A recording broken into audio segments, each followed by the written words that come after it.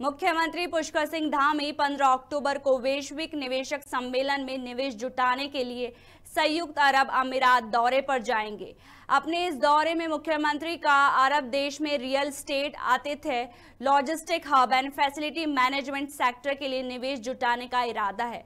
इस पूरे आयोजन की तैयारी कर रही अफसरों की टीम ने कुछ निवेशकों से संपर्क भी साधा है।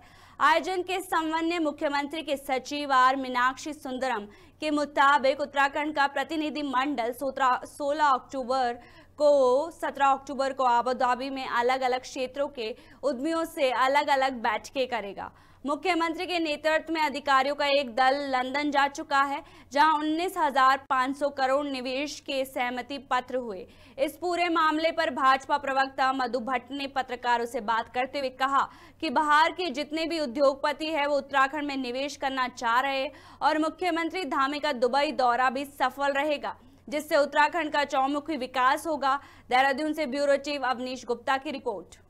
जिस प्रकार से रिकॉर्ड पे रिकॉर्ड टूटते जा रहे हैं और चाहे माननीय प्रधानमंत्री जी का दौरा हो, माननीय मुख्यमंत्री जी के लगातार दौरे हैं, चाहे वो दिल्ली दौरा हो, चाहे विदेश में दौरा हो, लगातार जो इन्वेस्टर जो सबमिट हो रहे हैं, पूरा जो बाहर के जो उद्योगपति हैं, वो पूरा उत्तराखंड में निवेश करना चाहते हैं। तो उत्तराखंड का जो चहुमुखी विकास हो रहा है, आने वाले समय में जो उत्तराखंड राज्य एक स्वर्णाक्षरों में जो यहाँ का जो कार्यकाल है, वो लिखा जाएगा।